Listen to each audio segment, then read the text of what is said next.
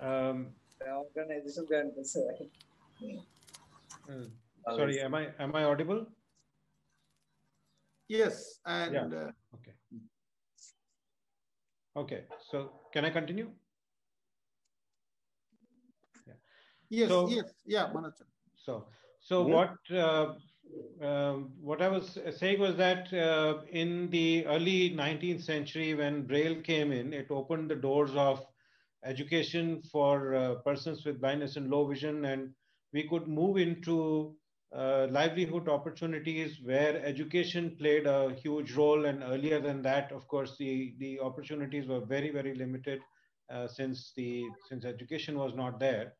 But then uh, at the end of 20th century, another big uh, revolution happened uh, where from the special script, which is required for our building our base in the education, which is Braille, we could actually start reading and writing in mainstream script, uh, which, and I'm talking about persons with blindness and low vision here.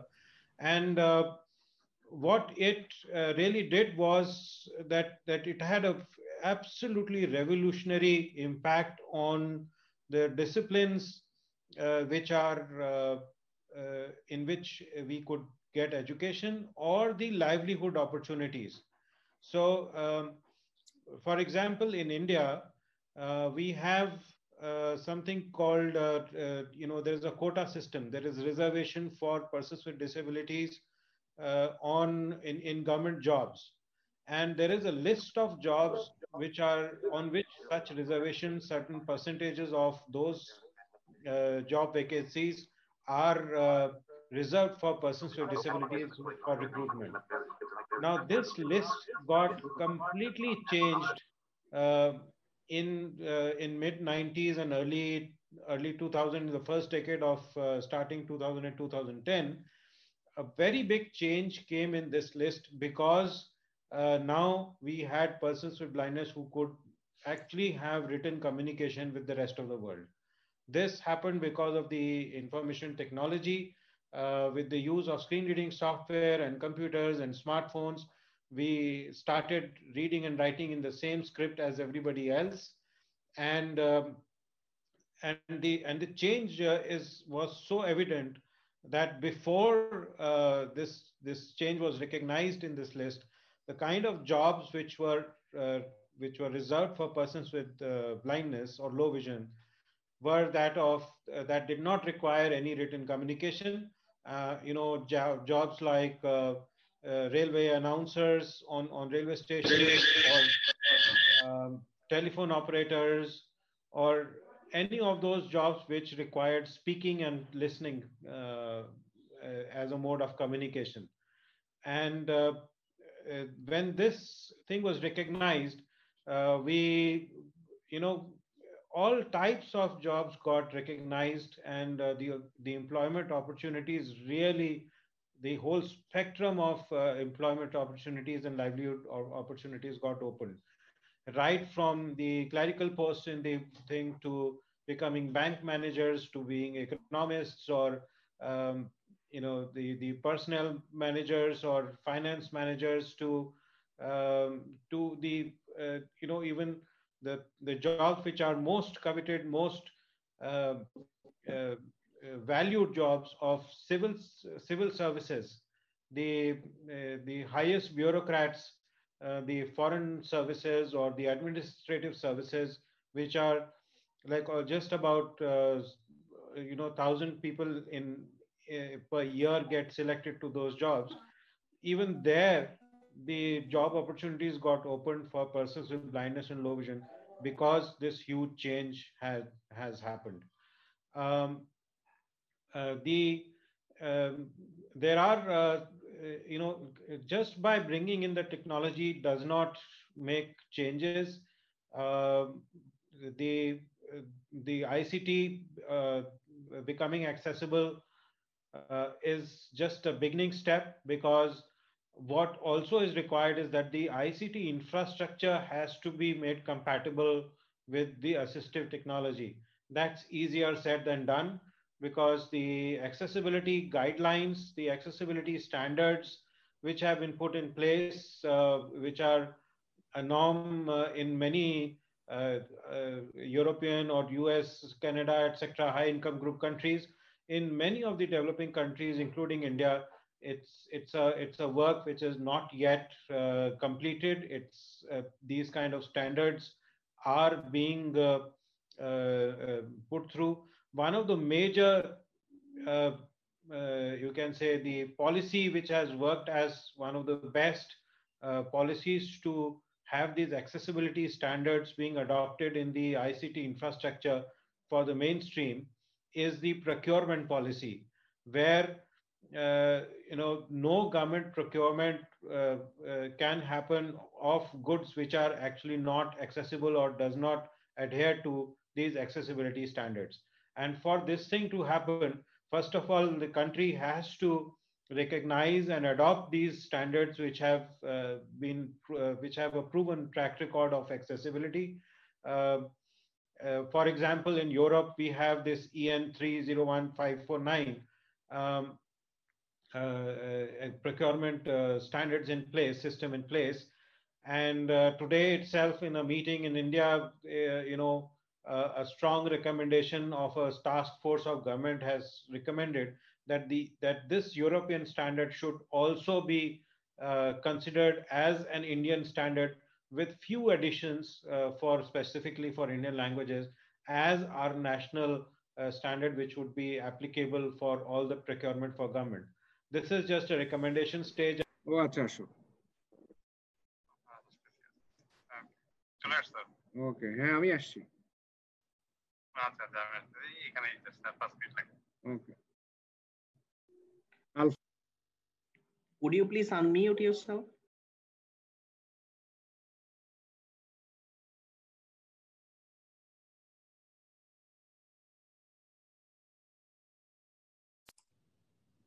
Sorry, I didn't realize when I got muted. Yeah, okay. Uh, yeah, you can carry on. Okay. So uh, one is this, uh, what I was actually talking about is one is that the ICT gaps have to be uh, fulfilled. First of all, these new technologies have to be uh, uh, identified. The procurement policy has to be in place uh, the nations have to recognize the standards on which to base the procurement policy and then the capacity building of the users themselves at the right age uh, has to happen for this livelihood to happen in these areas. The, uh, um, the, the, the trouble that happens is that people complete their education. In fact, we find cases where people complete their post graduation and PhDs from universities without getting exposure to this uh, uh, you know ICT tools and uh, adhere only to the old uh, to the system of Braille only. And uh, if they do that, of course, these new opportunities uh, they are not ready for these new opportunities. And what happens is that after completing their education, then there are employability trainings that they get into, and they are then given trainings for computers or uh, you know, basic communication skills. Whereas uh, these things we have proven in our projects that if we start early, right from the age of almost class three, uh, you know, age of uh, seven or eight years, the ICT tools being deployed along with Braille to be able to give them the skills for reading and writing in the mainstream script. Also, that prepares them for really for this uh, for this uh, new uh, job market that we are talking about. And then the gap between unemployable persons, educated persons with disabilities, and the jobs vacancy going vacant. I mean, that, that's a paradox that happens because we have large number of people who are not employable in the current market and there are vacancies which go un, un uh, you know un, unfilled because there are uh, not adequately qualified and skilled people around so this ICT adoption at the right age with the right policy, right procurement policy is really the way forward. It's easier said than done. It's a, it's a very hard work, uh, uh, which takes few years and a lot of advocacy to put together to actually make it a reality. Thank you so much. Back to you, Arif. Okay. Yeah. Thank you. Thank you, Dipendraji. Uh, it's uh, you know um, we can learn from you about like a, especially the South Asian uh, the context. Uh, you know, as uh, around like last two decades, uh, different organization including the government, we are trying to you know the develop the like a different accessible ICT ICTs, and there are some the individual efforts, some the combined efforts, and already there is a lot uh, there's so many positive things happening at the different level. Uh, so thank you, uh, mm, Dipendra Manocha, for your sharing. So now I would like to invite the second speaker, is Gunela Astbrink. she's the Vice President of Internet Society Accessibility Special Interest Group. And uh, YPSA, we are, uh, you know, one of the like a, uh, the uh, proud uh, uh, organization who got the fellowship from the Internet Society and we had a very close relationship. We are exchanging our information and knowledge. So today we'll uh, listen Gunela about the like different innovations. So Gunela, now uh, the floor is yours.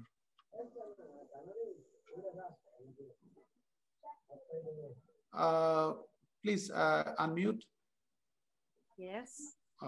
Thank you very much uh, for your introduction and um, and your invitation for me to speak today. I'm very happy to be part of, um, of this presentation. And uh, I, I, was very interested to hear what Kendra said about um, accessibility criteria in public procurement. Uh, it is something I've, I've worked with for a number of years and we advocated in Australia um, for that to be adopted uh, from the European standard. And we're fortunate now that there is an Australian standard um, on accessibility criteria in public procurement, but it needs to be used. And, uh, and I think that is a key to many policies.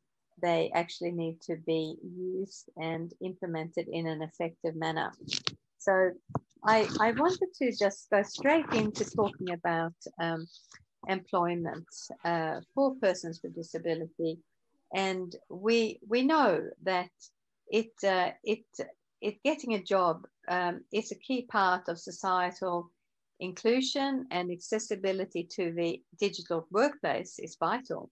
It's also important for social inclusion and economic independence and employment contributes to physical and mental health and a sense of identity.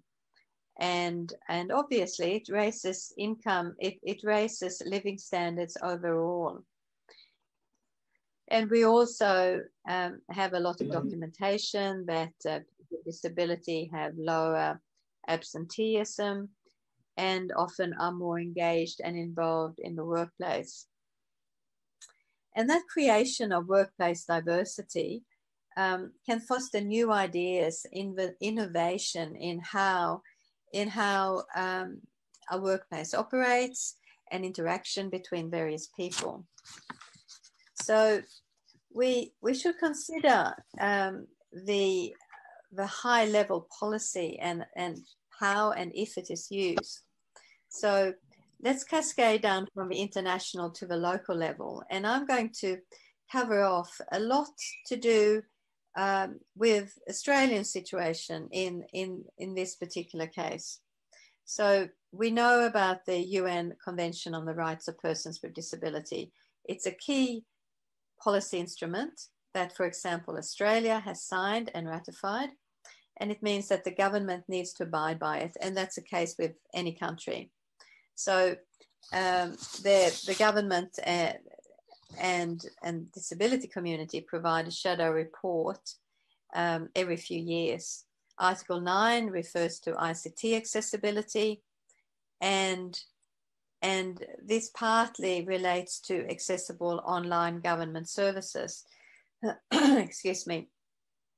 And in Australia, the Digital Transformation Agency provides guidelines um, I should also point out that in Australia, um, it's, it's a, a, federation of various states, and those states provide a range of services. So we have a national disability strategy that includes a digital information and communication technologies um, uh, objectives. And as well, um, both state governments um, have their own legislation. And I live in the state of New South Wales, and there is a Disability Inclusion Act.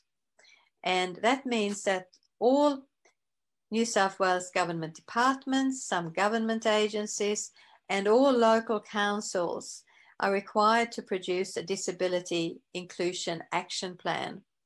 So, and there's a section of that that um, involves digital inclusion.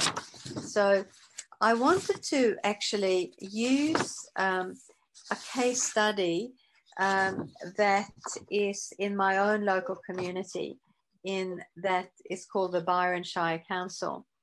And I'm part of an access consultative working group.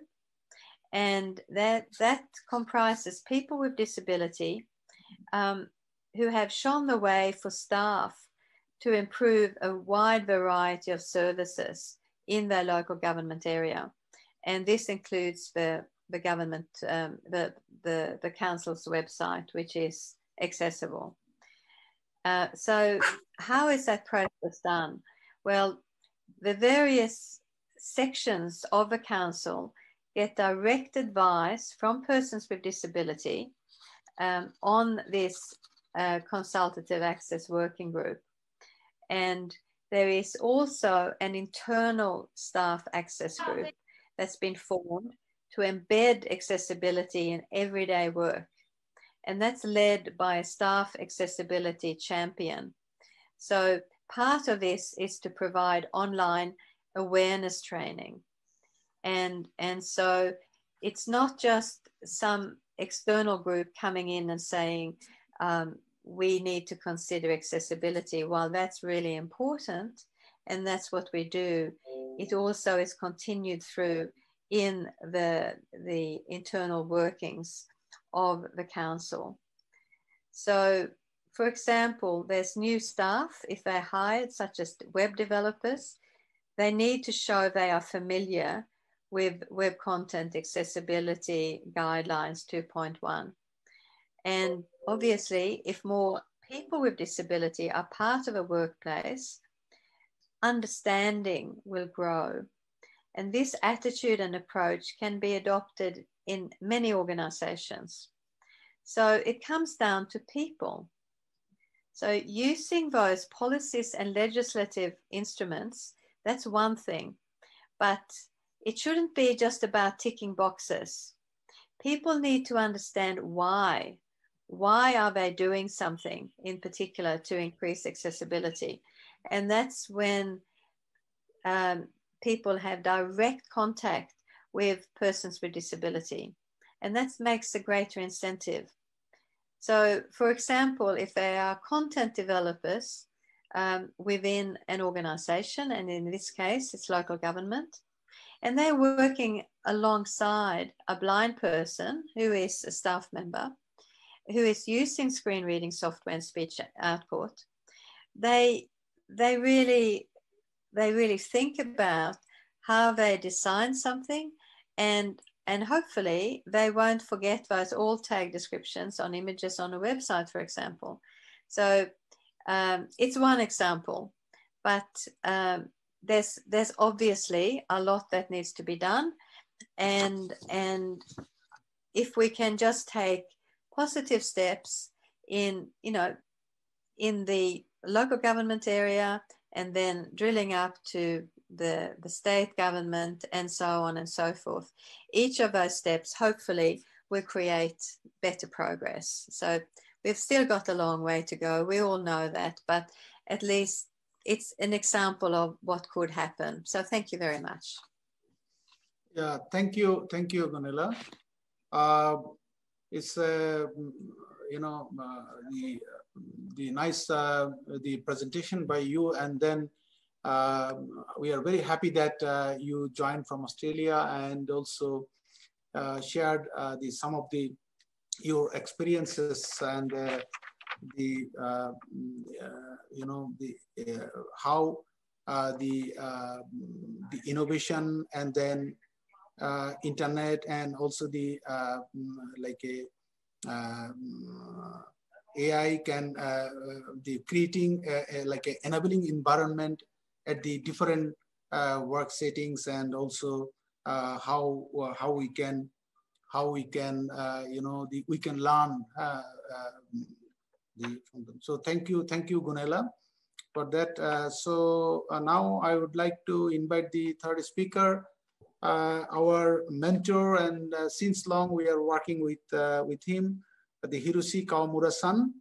Uh, he is the Vice President of the Assistive Technology Development, the organization ATDO from Japan.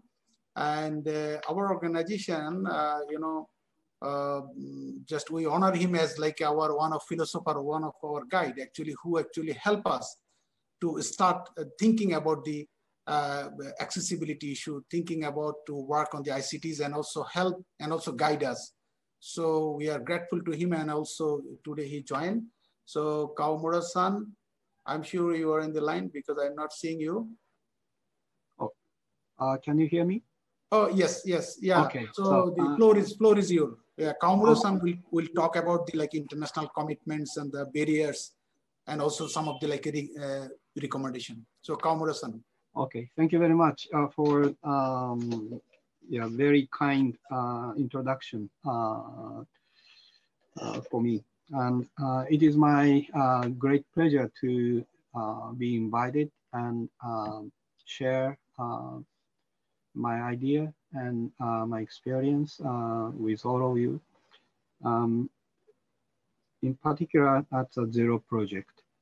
So I would like to start with uh, the, um, so back in uh, 2005, uh, when um, the United Nations uh, met in Tunisia, uh, in Tunis, at the um, World Summit on the Information Society, uh, when the global IT community uh, wanted to see the solution uh, for uh, to tackle the digital divide.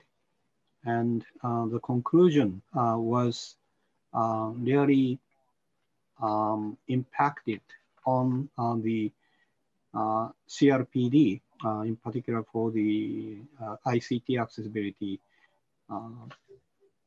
contents of the CRPD. So if you uh, remember uh, the Article 2 of the CRPD.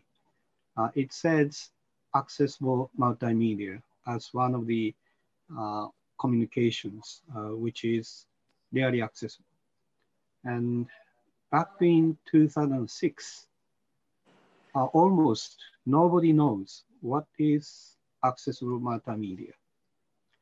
Um, now I would like to say that after uh, more than uh, 15 years, we are now uh, getting uh, the real uh, basics of the uh, accessible multimedia as an international standard.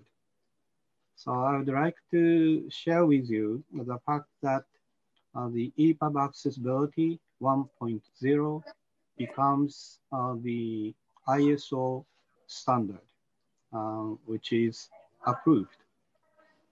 And together with the Web Contents Accessibility Guidelines, uh, which is already uh, the ISO standard, the web accessibility and the electronic publishing accessibility will get together to support uh, all people um, to uh, exchange ideas, skills, knowledge and communications uh, on the, uh, how can I say, de decoded and store, storage basis, which is the very important foundation of the employment.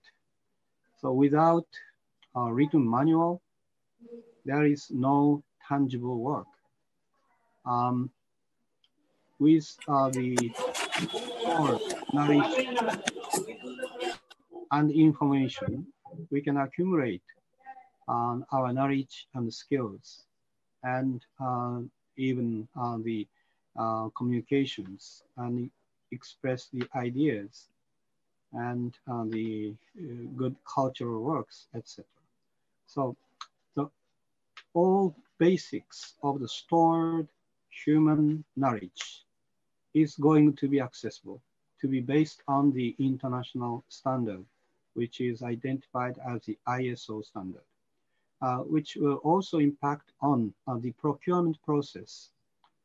The ISO standard is uh, the most important standard, uh, which uh, will be cited as um, when the public procurement is conducted.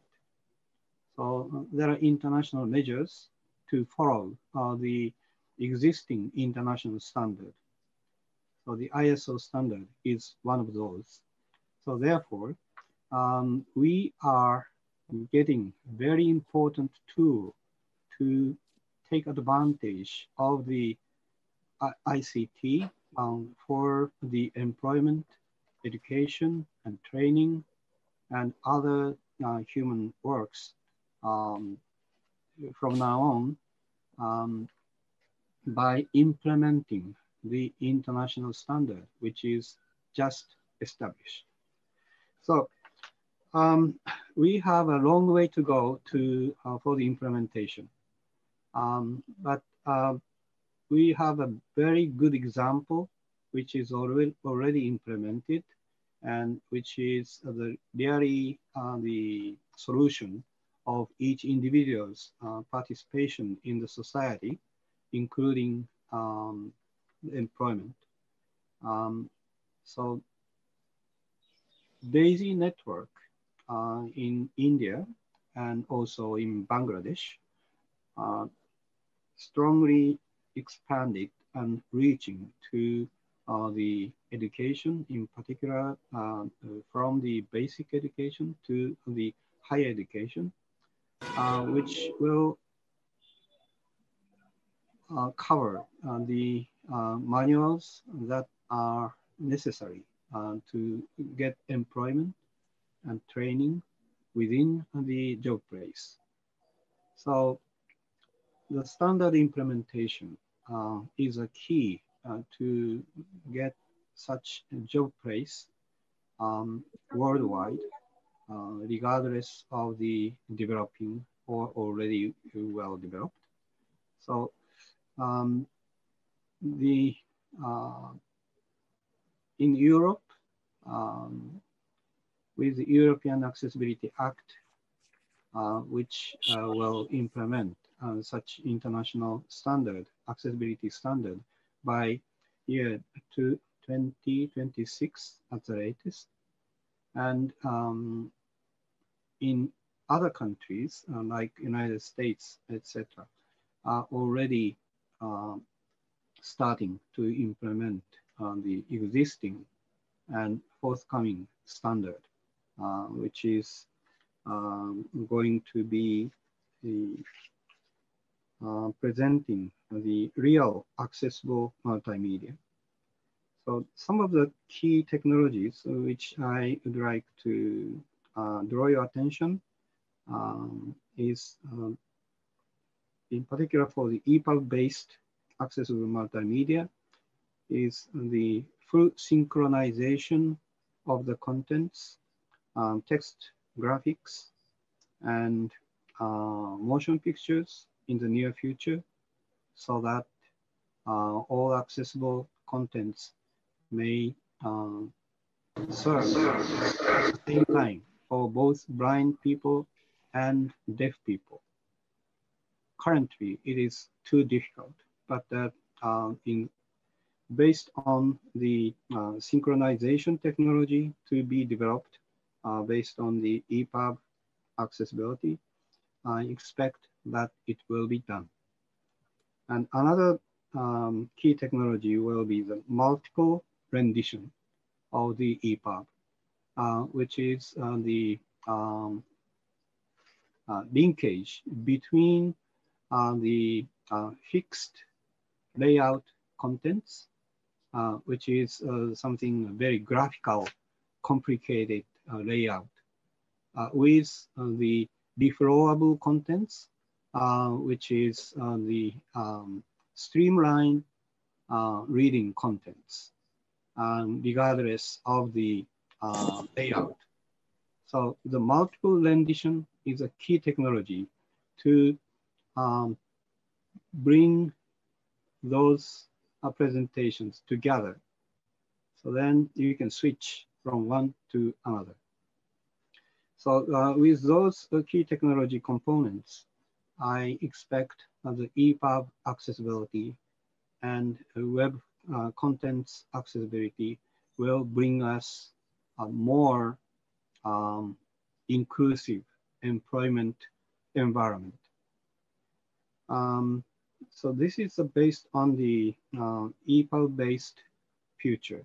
Uh, but uh, uh, there are yet another approach, which is the motion picture-based uh, approach for the accessible um, multimedia development.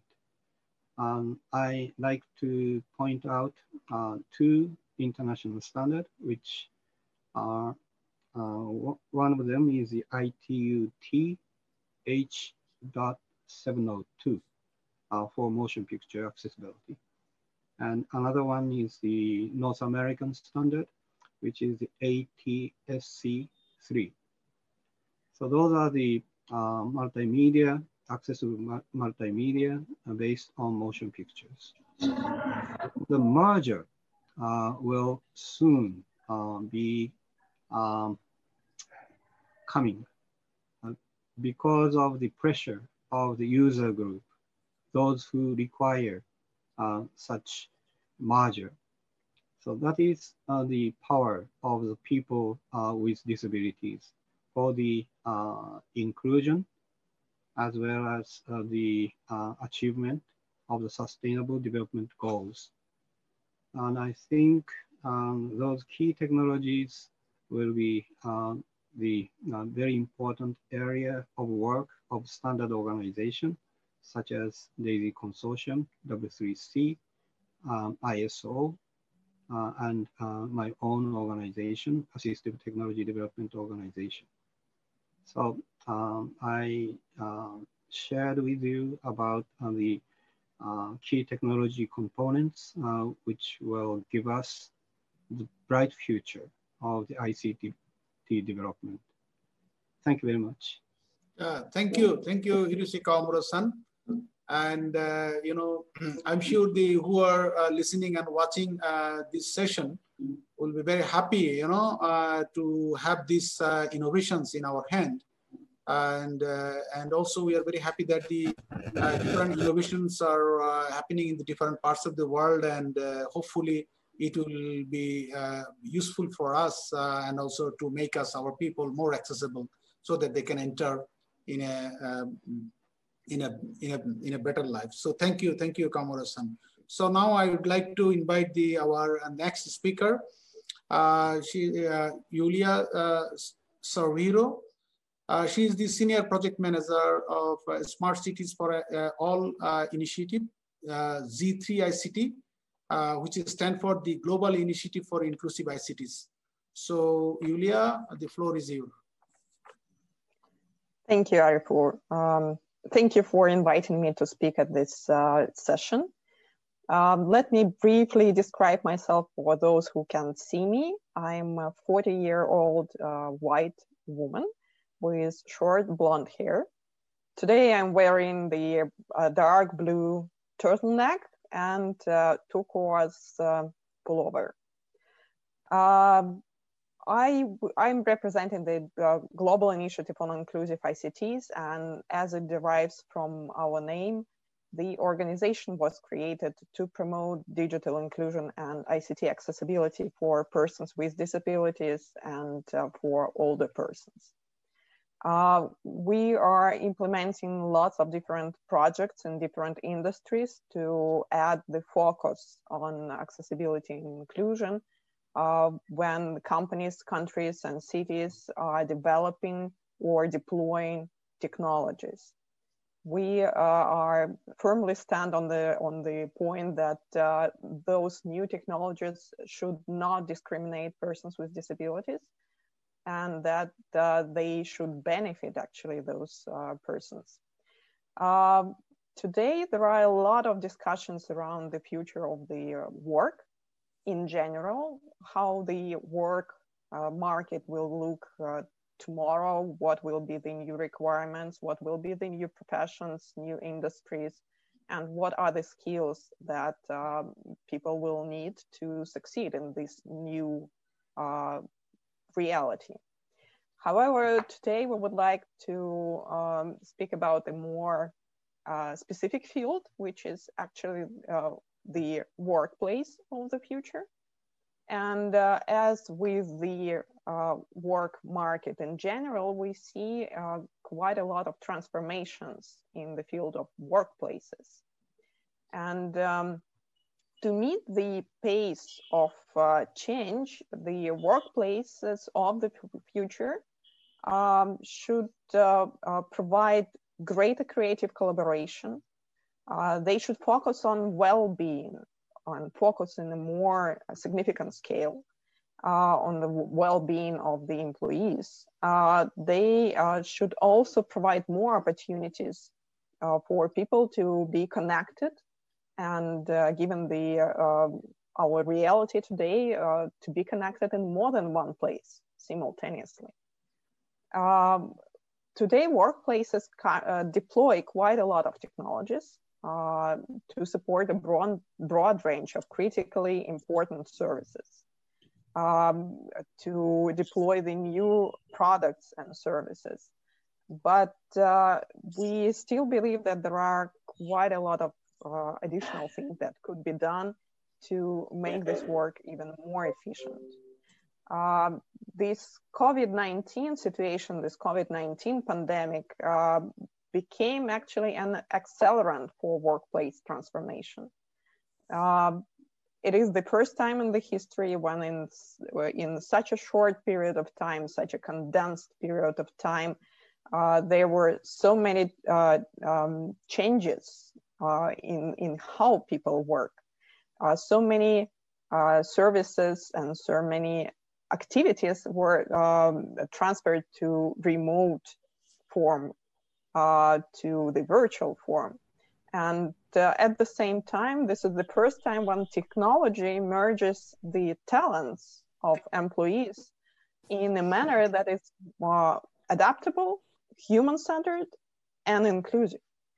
Um, at the same time, today it is not fully clear um, how much um, focus and how much access, uh, how much uh, attention is given to the uh, um, accessibility and inclusion uh, when companies create, design, and implement the new leading age uh, workplaces.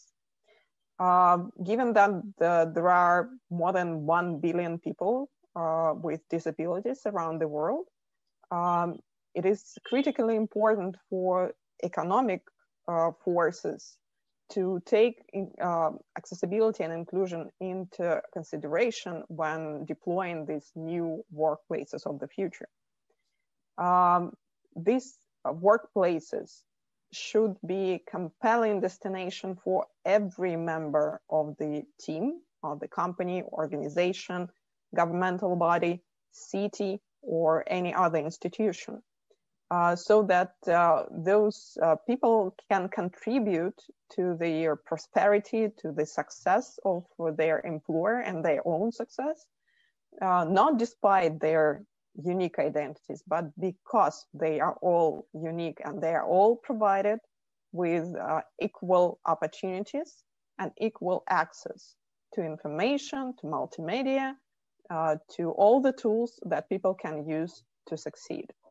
Um, we believe that workplaces of the future should meet three criteria. Uh, they should be safe, they should be compelling, and they should be inclusive. Um, and uh, when we say inclusive, we mean that those workplaces actually meet the broad range of user needs. And uh, we're not speaking only about persons with disabilities, we're speaking about everybody. Because as we all know, uh, disability can be situational or permanent. But at any point of the time, any of us can have any troubles or barriers uh, with accessing to technology. And uh, given the role of technologies in the modern world, we cannot allow uh, the barriers to sustain. Um, we know that uh, um, technologies at the workplace are not only about uh, those uh, applications or services that are installed on the laptops or computers of the employees of any organization. We're talking about more comprehensive IT systems. And uh, given that uh, uh, workplace is something that not only remote, uh, but it also something in the offices, uh, there are quite a lot of activities that the companies will need to take to uh, make the offices, the buildings more accessible, not only from the physical standpoint, but also from the technology standpoint. And there are so many uh, technologies nowadays that uh, can help to do that um, to reduce the touch uh, interfaces to uh, reduce uh, to, to Im implement or deploy the voice uh, activated services and so on um, to elaborate a bit more on the workplace of the future, G3 ICT uh, is working currently on the new project with Steelcase uh, to create the blueprint for inclusive workplace of the future.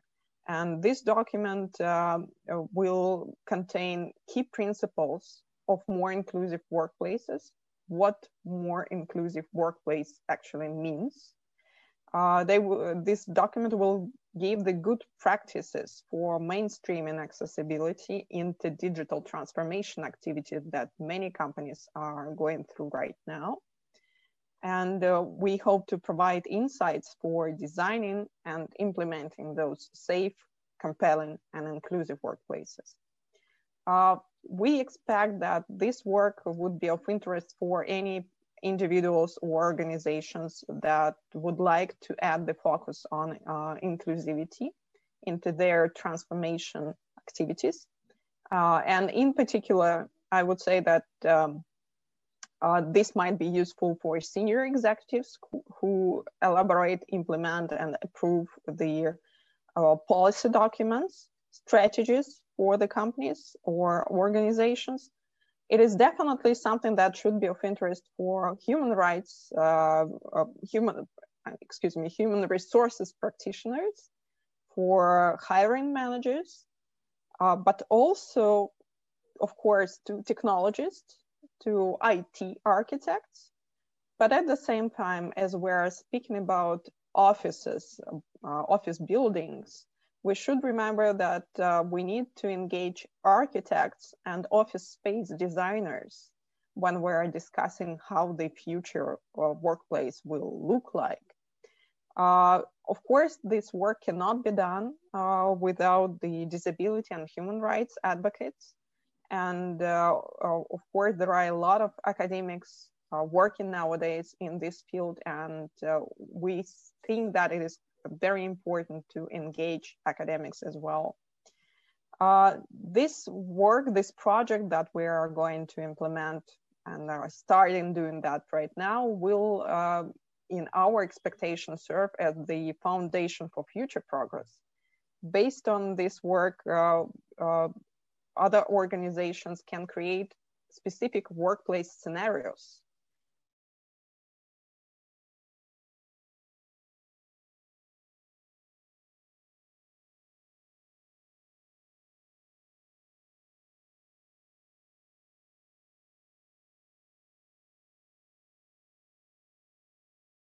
Can be derived from the principles of inclusive workplace. And finally, uh, these uh, principles could serve for the future assessment and benchmarking of their uh, inclusivity, inclusiveness uh, of the workplaces. uh, I think I will stop here. Thank you, report. Okay, yeah, thank you, Yulia. Very nice uh, deliberations on ICT and employment uh, in light of the disability inclusion and accessibility. So thank you, and also wish also good luck for this uh, initiative. And you know, the YPSA is uh, involved uh, through the Vashkar about the uh, mm, Smart Cities for All initiative in Bangladesh, and hopefully it will be a very popular in this campaign and in this work in, in, in our country also. So thank you, and we'll see you again. And now our last speaker, Mr. Vashkar, actually who is the nucleus of this program. You know, uh, Vashkar is uh, last two decades he's working with YPSA and uh, uh, last few years he's working with the Bangladesh government as a uh, national consultant for accessibility uh, for A2I program under the ICT division of Bangladesh government. So I'm inviting Vashkar to, you know, to share some of his thoughts and especially the contextual analysis of this region and he's the actually right person from our country to talk about the uh, ICT and disability issues, ICT and accessibility issues. And, you know, and there are many uh, good results already uh, established in our country and there are many practices. At the same time, still there are many barriers and challenges. So I'm inviting Vashkar to talk. So Vashkar, um, floor is yours. Yeah, thank you very much, uh, Mr. Arifur Rahman. And Ladies and gentlemen, today I'm very excited to be here. Especially I'm seeing all of my favorite personality here. Number of people with disabilities have joined here, represented by D DPOs, different NGOs, um, INGOs, journalists. Thank you very much for joining. And we are seeing that Zero Projects channel are uh, um, here on our program and also many uh, number of Facebook pages, including YPSA and others, are uh, live now. Many people are was watching us. And you know, um, I like to share some of my personal experience first. My life was changed uh, through a dream initiative by Duskin. That was Duskin Leadership Training in 2002. Before that, even I never ever thought I can use any technology or I can use any computer or I can get a good job in any good place. My dream was very narrow. So Duskin leadership training was the key in my life. So for a employment, skill development is highly important for a person with disabilities. Then another point came. After return from Japan, I thought I have learned a lot and now I can contribute for my country. But nobody believed that a blind people can contribute, can work, can perform, can engage, can innovate. I was jobless, at least one year. So Mr. Arif is the person and YPSA is the organization who have given me the opportunity in 2004 to work with them with a small initiative. Then all the international fellows, my mentors, Hiroshi Kawamura, Dipendra ji, and etc., have supported us. And today we are the model for Globe that making information accessible, making service accessible. Later, I have started work with the Prime Minister Office of Bangladesh. Believe me, they have designed an interview such a way then they can recruit me. So positive discrimination is highly important for creating employment for people with disabilities. I am seeing three challenges in our region for creating employment for of persons with disabilities. One is the one biggest barrier is accessibility our employment issues when there is address, when employers are ready to welcome us, but their infrastructure are not accessible. The information are not accessible. Even we people with disabilities unable to apply because of the um, uh, inaccessible recruitment process. The website softwares are not accessible. So that's why we are excluded and number of people with disabilities, youth with disabilities are not getting opportunity to work.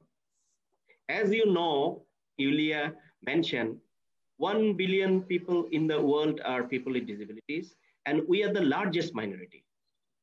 And each of us have diverse accessibility needs. That's why um, uh, we need to work uh, in a universal design model. Many organizations may be considered accessibility, but they are not universally designed.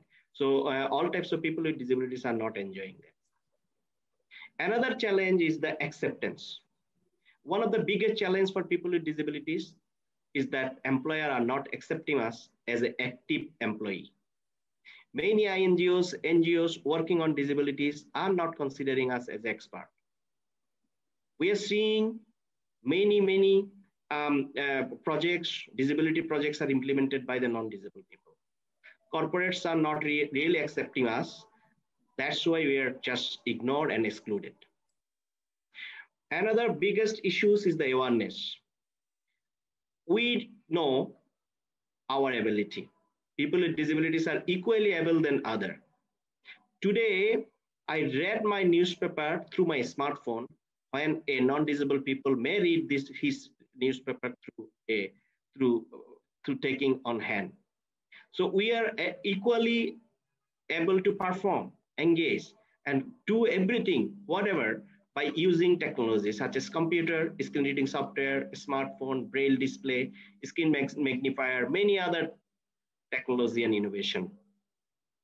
But um, people have no awareness on, on that.